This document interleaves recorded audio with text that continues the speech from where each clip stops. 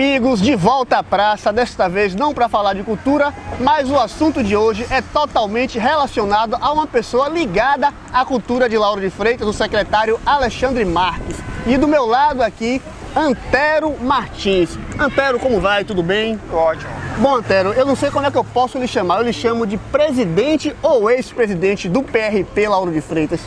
Júnior, a partir de quinta-feira passada, pode me chamar de ex-presidente. Né? Eu, na verdade, entreguei a carta de renúncia ao nosso presidente estadual, Alexandre Marques, é, e hoje eu sou apenas um filiado do partido PRP. Antero, você quebra um paradigma no município de Lauro de Freitas. Parafraseando o, ex-presidente Lula, nunca na história deste município um presidente de partido renuncia. Você faz isso pela primeira vez. Por que, que você renunciou à presidência do PRP o renúncio da presidência do PRP, na verdade, não é nada contra Alexandre Marques, até porque eu gosto muito de Alexandre como pessoa, certo? A questão é, é, pensamento político.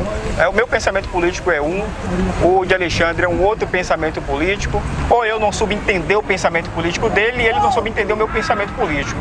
Então eu, eu achei melhor para que o partido possa andar de uma forma mais serena e mais tranquila, certo? Está renunciando essa, nesse primeiro instante para que ele possa dar assim, continuidade no, na, no partido e com isso, de uma certa forma, fazer o partido crescer sem a minha presença, sem a minha presença na presidência do partido. Explica pra gente, Antero, quando você fala que o pensamento político seu é diferente do pensamento de Alexandre Marques. Explica porque eu, eu não consegui compreender ainda. Você, você quer dizer pra gente que Alexandre, ele pensa só na carreira política dele e acaba esquecendo os demais filiados? É isso mesmo que eu entendi?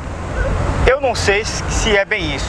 A única coisa que eu sei é que para a gente ter uma noção, existe alguns alguns compromissos, né? Sim. Que deveria deveria ser assumido partidariamente. Bom, você quer dizer, Antero, que Alexandre Marques ele não assume compromisso político? Foi isso que eu entendi? Não, não, foi, não é isso que eu estou dizendo. Estou dizendo que até então os compromissos não foram assumidos. Não estou dizendo que é por causa de Alexandre, nem estou dizendo aqui que é por causa do prefeito. Eu estou dizendo o seguinte, que não aconteceu. Por não ter acontecido e por eu pensar, por eu estar pensando muito, né? E ter uma, eu tenho uma, uma eu tenho um pensamento em que quando se determina algo, não é caro nem barato, tem que ser cumprido porque é palavreado. Não aconteceu, eu não sei da dificuldade, quero deixar bem claro isso, não sei da dificuldade de Alexandre, não sei da dificuldade de, de pessoas externas ao partido. Eu só sei o seguinte, que se as coisas não foram cumpridas na data correta, infelizmente, infelizmente, eu não comungo com isso. Eu estou entregando o partido, continuo filiado ao partido. Bom, Antero, parece que você não é a única pessoa que não está satisfeita com Alexandre Marques.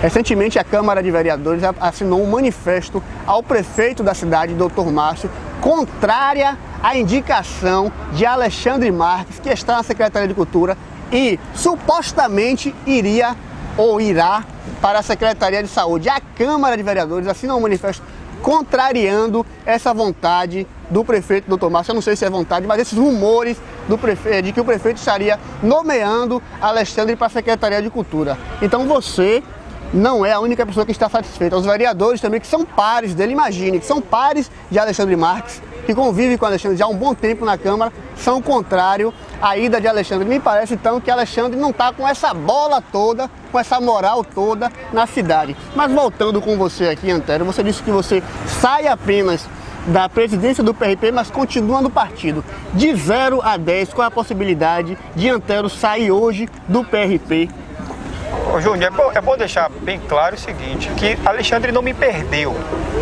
que Alexandre nunca teve, porque eu acho que ninguém tem ninguém. A gente apenas está né, com as pessoas e ajuda a construir algo. Daí eu tenho ajudado Alexandre a construir o PRP na forma, na forma que nós estamos encontrando né, na cidade. A política na cidade muda muito.